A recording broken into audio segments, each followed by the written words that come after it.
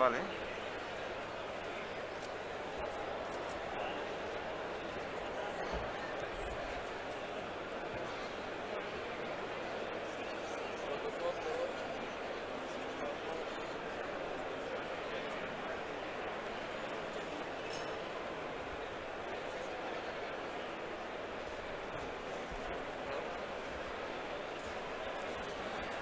Bueno, pues buenas tardes a todos ustedes. Eh, muchas gracias por su presencia en este acto de inauguración de esta decimocuarta edición de Fruit Attraction. Y en primer lugar quiero saludar lógicamente al presidente y al director general de IFEMA en esta decimocuarta edición y por supuesto al presidente y al director general de FEPEX, que son las almas de esta gran feria de frutas y hortalizas que mundial de frutas y hortalizas que como Gobierno de España y como Ministerio de Agricultura, Pesca y Alimentación nos honramos en, apoyar. Es una feria que es una referencia a nivel mundial de un sector que para nosotros es, es probablemente el sector agrario más relevante en valor de producción, en valor añadido, en eh, vocación exportadora y también evidentemente en empleo y en fijación de población. Somos el primer productor de la Unión Europea, el tercer productor del mundo y el segundo exportador del mundo. Prácticamente del conjunto de la producción de frutas y hortalizas exportamos un 50% al exterior y en algunos productos pues más del 70%, 28 millones de toneladas, 15.000 millones de euros, 18.000 incluyendo también el sector de flores y plantas y eh, una presencia en el conjunto del sector agrario español que es prácticamente de casi un 11% de la superficie agraria útil, un 50% del empleo y un 50% de la producción vegetal. Y sobre todo también 514 organizaciones de productores de frutas y hortalizas. Y quiero subrayarlo porque como ministro de Agricultura considero que precisamente esa capacidad de organización del sector es la que explica el buen triunfo y, la, y, la, los buenos resultados del conjunto del mismo, consiguiendo vehicular 275,5 millones de euros de financiación de la UE para actuación y para el trabajo de nuestros agricultores y ganaderos. Si me permitirán un breve, soy el ministro de Agricultura y siempre hablo de la PAC, de la Política Agrícola Común, por tanto, 30 segundos, dos cosas. Primera, organizaciones de productores sin límite de gasto desde el punto de vista presupuestario, gran oportunidad, 235 millones es la base, pero tenemos que utilizar más esa financiación comunitaria de cara al futuro. Y el segundo, una vieja reivindicación del sector que me honro en decir que podrá estar efectivamente, ser efectiva a partir del 1 de enero del año que viene de forma progresiva, es decir, la inclusión del sector de las frutas y hortalizas en el pago básico de la política agrícola común. Este es un año muy especial desde el punto de vista de la climatología, lo estamos viviendo, hemos tenido fenómenos climáticos extremos muy significativos y por desgracia que han afectado al sector. Hasta el 30 de agosto 245 millones de euros de indemnizaciones peritadas en el sector de frutas y hortalizas en nuestro país. Intentamos cubrirlo mediante nuestro seguro agrario, eh, 275,7 millones de euros cubre nuestro seguro agrario hasta el 31 de diciembre y por tanto a un sector tan importante como este y además hemos incluido alguna acción de gobierno, la que hace un par de semanas aprobamos en el Consejo de Ministros 12 millones de euros para apoyar a las centrales hortofrutícolas especialmente afectadas por el episodio de las heladas de la primera semana del pasado mes de, de abril. Creo que la calidad y la excelencia de nuestra producción es lo que justifica el que estemos en esta posición desde el punto de vista español, europeo y, mundial.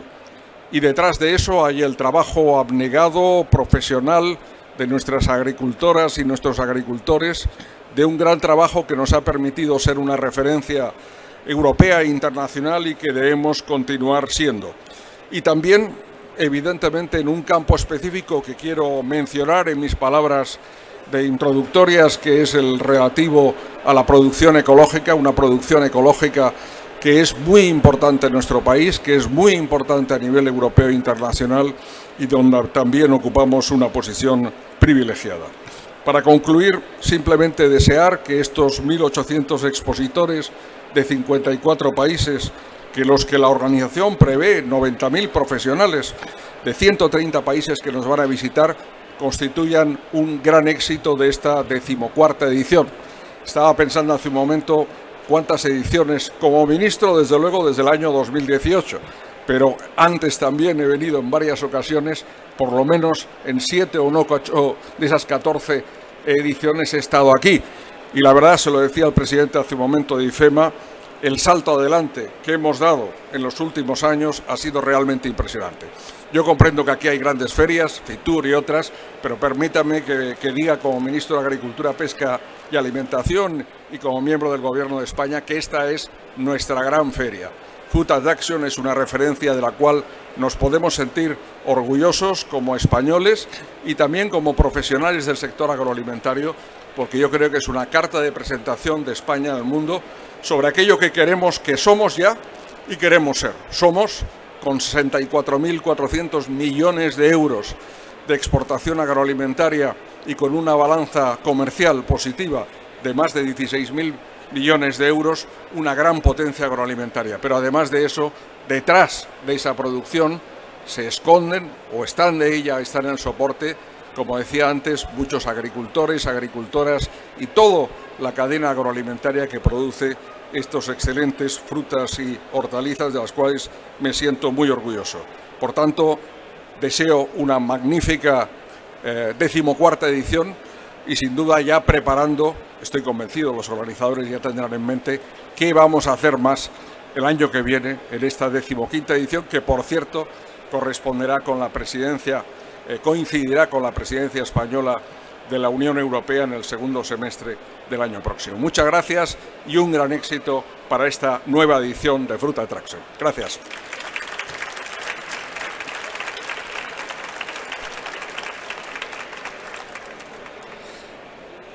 Micrófono, por favor.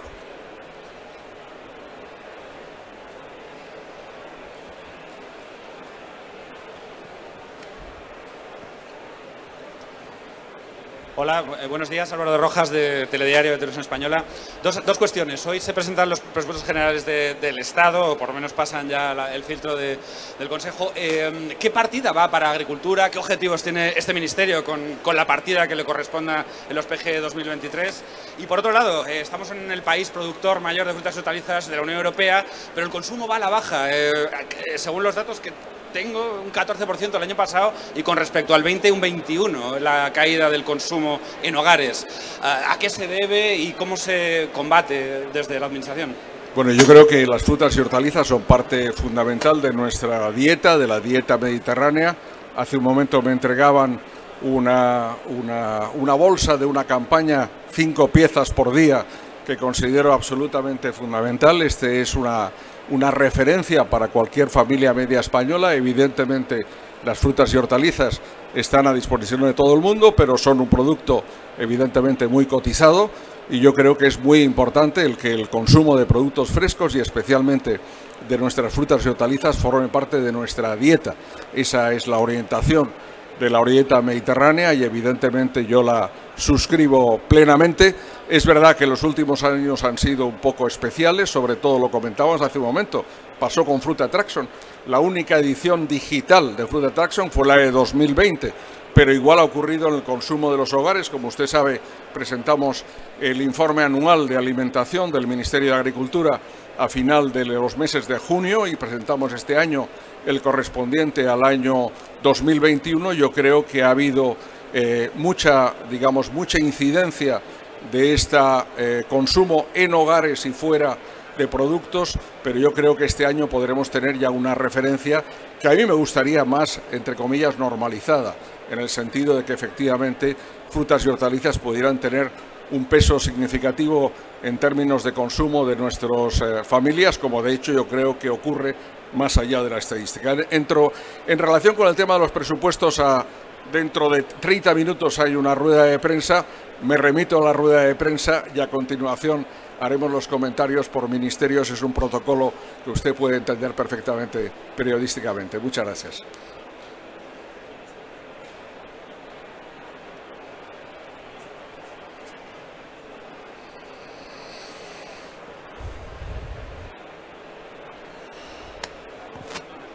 Ministro, perdón, eh, si me podía hacer un análisis de por qué ha bajado, eh, que entiendo que es por la pandemia, por, eh, digo, me refiero al consumo, que entiendo que es por los años de, pandemia, y cómo se recupera, si con campañas o... Es, es muy difícil, es muy difícil hacer una, un análisis de una única circunstancia. Evidentemente esta circunstancia ha estado, ha estado presente, ha sido sin duda la pandemia, ha sido también la evolución de los precios en algún momento determinado, sin duda pero yo estoy convencido, como le decía antes, que vamos a una senda de recuperación y, por tanto, de normalización en el consumo y de una normalización, digamos, en sentido positivo. Desde el punto de vista, como usted sabe y lo decía hace un momento, de la exportación, ha sido justamente al contrario, es decir, hemos aumentado de forma muy, muy significativa la exportación al exterior, por tanto yo creo que ese ha sido un dato eh, muy favorable. ¿Se me oye? Sí. Eh, Gema Llamazares de La Sexta. Me gustaría saber hasta qué punto está el Gobierno, el Ministro, preocupado por la sequía. Ciudades como Sevilla ya han decretado la alerta. Y en este sentido también saber qué opinión tiene sobre la petición de Juanma Moreno de más financiación para enfrentar la sequía tras haber bajado los impuestos. Gracias. Vamos a ver que la pregunta que me hace sobre sequía desborda al campo de mi ministerio. Es evidentemente una cuestión que afecta a lo que se refiere a la gestión del agua en general, que no, no la llevo yo, sino el Ministerio de Transición Ecológica, y lo que se refiere al regadío. En la parte que a mí me compete le puedo decir que justamente el regadío es probablemente la joya de la corona del sector agroalimentario español. Y para nosotros las 3.800.000 hectáreas de regadío constituyen uno de los sectores evidentemente fundamentales porque nos proporcionan dos tercios del conjunto de toda la producción vegetal de, España. Por tanto, es necesario invertir en regadío, en regadío sostenible, cosa que hacemos desde el Gobierno de España, 2.130 millones de aquí al año 2027 y una parte muy importante del programa de recuperación, transformación y resiliencia, 563 millones de euros que complementados con las comunidades de regantes, sus aportaciones, suponen más de 800 millones de euros. Pero la cosa no queda aquí. El pasado mes de marzo, eh, cuando empezamos a ver, empecé a ver con mi equipo que podía existir alguna circunstancia, como ha ocurrido, de menor pluviometría y de temperaturas altas, aprobamos en el Consejo de Ministros un decreto ley que ha supuesto una serie de medidas que están aún en vigor, que están en vigor en este momento, no solo en materia de obras hidráulicas, sino también la reducción fiscal del 20% de, la, de los módulos de la declaración del IRPF, de la estimación objetiva singular, de la cual se benefician 250.000 agricultores ganaderos, de la supresión del impuesto de bienes inmuebles llevada a cabo por los ayuntamientos con compensación por parte del Ministerio de Hacienda, de medidas en materia de liquidez o de reducción del número de peonadas para las llamadas jornadas teóricas para percibir el subsidio agrario. Por solo citar algunas de las más importantes, ya hace un momento mencionaba el, subsidio, eh, perdón, el seguro agrario, en un posterior decreto ley aprobamos hasta 60 eh, millones de euros suplementarios en la financiación de los seguros agrarios. Por tanto, una panoplia, yo creo, importante, un conjunto de medidas muy significativo y tendremos que seguir esta situación de sequía en que estamos. Esperemos que llueva pronto porque es fundamental para muchas cosechas que están en curso, pero evidentemente tendremos también que adoptar medidas de adaptación a este, a este cambio climático y evidentemente las referentes al mejor uso de agua son, son parte de ellas. Buenos días, Ministro. María Angela Latella, periodista italiana de Corriere Ortofrutticolo. ¿Cómo afecta la crisis energética en la actividad de export de fruta y hortaliza de España, que es el primer exportador de Europa? ¿Va a cambiar mercados? Eh, ¿Va a concentrarse en el, vuestros países? ¿Cómo afecta? Bueno, yo creo que nos afecta a todos también a Italia y al resto de la Unión Europea. Aquí estamos unidos por la adversidad y la adversidad en este caso es el incremento del precio del petróleo y del gas, que está afectando de forma muy significativa a todo el sector agroalimentario. Eh, diría que en algún aspecto de forma incluso más significativa, estoy pensando por ejemplo en la producción de fertilizantes nitrogenados que como consecuencia del incremento del precio del gas han duplicado y hasta triplicado el precio de los eh, fertilizantes y es un tema yo diría que muy muy significativo pero bueno, estamos en, en, igualdad de condiciones porque todos estamos afectados. Por tanto, no más España que otros. Es verdad que nuestros agricultores en esa situación tienen un incremento de costes. Tenemos la ley de cadena alimentaria, transposición de la directiva europea sobre prácticas comerciales desleales, y ahí, como suelo decir, intentamos llevar a cabo un pacto de rentas dentro del sector agroalimentario, es decir, que haya un reparto eh, justo, equitativo, entre la producción primaria, la industria y la distribución agroalimentaria. Eh, por aquí. Eh, ¿Qué tal? Buenas tardes, señor ministro. Eh, Buenas tardes. Eh, Daniel Berbel, Informativo Estere 5. Eh, quería uh, recoger la pregunta de la sequía. Los productores de aceite denuncian que van a tener un 30% menos de producción por, por la sequía. ¿Estudia el Ministerio alguna ayuda para el sector? Vamos a ver, la, sería muy largo de, de, responder en 30 segundos porque el sector dispone de muchos elementos de apoyo y de ayuda. Eh, el primero de ellos, aparte de lo que se refiere al propio seguro agrario que he mencionado anteriormente, la política agrícola común.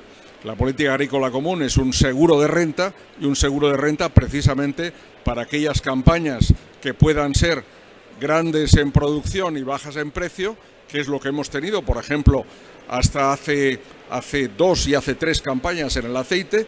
La última y la actual eh, son eh, de precios altos. Estamos en este momento en el Virgen Extra aproximadamente en 3,926 eh, en el precio del litro, más 20% más que el año pasado, 21% y 90% más que hace dos campañas.